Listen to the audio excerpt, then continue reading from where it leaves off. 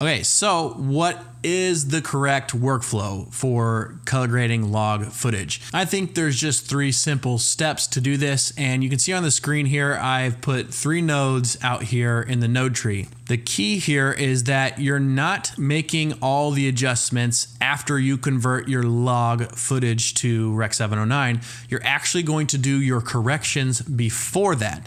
And if you don't understand this, then you're going to basically remove the whole point of shooting log. If you convert to Rec 709 first, then everything you do after that, you might as well just shot in Rec 709 or standard picture profile on your camera because all the adjustments will be the same. Node one is the corrections. Then the second node will be your transform color space. So this is where you're going to transform your color space to Rec 709, and then you'll do your grade or your look after that. So that's where you want to do the fine tune tweaks and just kind of the look that you want to make it stylized. That's where you do that.